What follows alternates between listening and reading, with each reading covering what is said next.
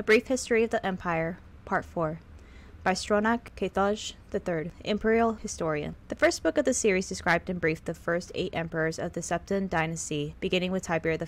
The second volume described the War of the Red Diamond and the six emperors who followed. The third volume described the troubles of the three emperors, the frustrated Uriel IV, the ineffectual Cephorus II, and the heroic Uriel V. On Uriel V's death across the sea in distant hostile Akavir, Uriel VI was but five years old. In fact, Uriel VI was born only shortly before his father left for Akavir. Uriel V's only other progeny by a more morganatic alliance were the twins Morihatha and Eloisa, who had been born a month after Uriel V left. Uriel VI was crowned in the 290th year of the Third Era. The imperial consort, Thonica, as the boy's mother, was given a restricted regency until Uriel VI reached his majority. The Elder Council retained the real power, as they had ever since the days of Katariah I. The council so enjoyed its unlimited and unrestrained freedom to promulgate laws and generate profits that Uriel VI was not given full license to rule until 307, when he was already 22 years old. He had been slowly assuming positions for responsibility for years, but the council and his mother, who enjoyed even her limited regency, were loath to hand over the reins. By the time he came to the throne, the mechanisms of government gave him little power, except for that of the imperial veto. This power, however, he regularly and vigorously exercised. By 313, Uriel VI could boast with conviction that he truly did rule Tamriel. He utilized defunct spy networks and guard units to bully and coerce the difficult members of the Elder Council. His half-sister Morihatha was, not surprisingly, his staunchest ally, especially after her marriage to Baron Ulfgerson of Winterhold brought her considerable wealth and influence. As the sage Ugorj said, Uriel V conquered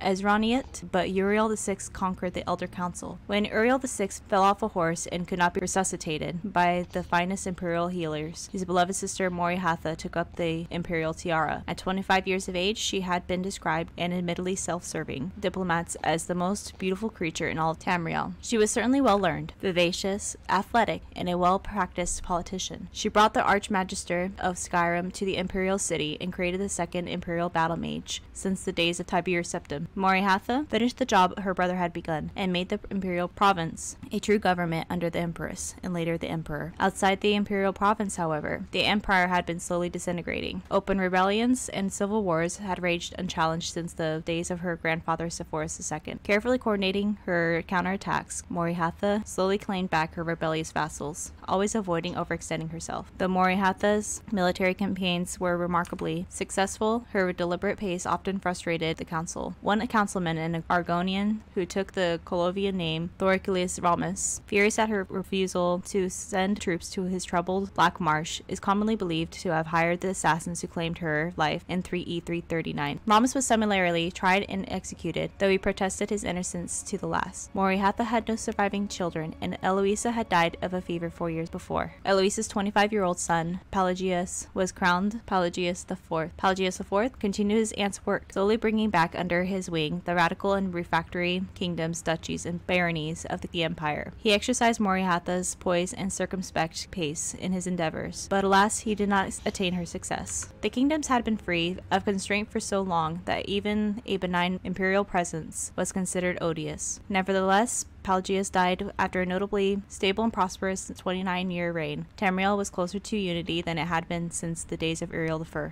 Our current emperor, his awesome and terrible majesty, Uriel Septim VII, son of Pelagius IV, has the diligence of his great aunt Morihatha, the political skill of his great uncle Uriel VI, and the military prowess of his great grand uncle Uriel V. For 21 years he reigned and brought justice and order to Tamriel. In the year 3E 389, however, his imperial battle mage Jagar Tharn betrayed him. Uriel VII was imprisoned in a dimension of Tharn's creation, and Tharn used his sorcery of illusion to assume the emperor's aspect. For the next 10 years, Tharn abused imperial privilege but did not continue Uriel VII's schedule of free conquest. It is not entirely known what Tharn's goals and personal accomplishments were during the 10 years he masqueraded as his liege lord. In 3E 399, an enigmatic champion defeated the battle mage in the dungeons of the imperial palace and freed Uriel VII from his other dimensional jail. Since his emancipation, Earl Septim VII has worked diligently to renew the battles that would reunite Tamriel. Tharn's interference broke the momentum, it is true, but the years since have been proven, but the years since then have proven that there is hope of the golden age of Tiberius Septim's rule, glorifying Tamriel once again.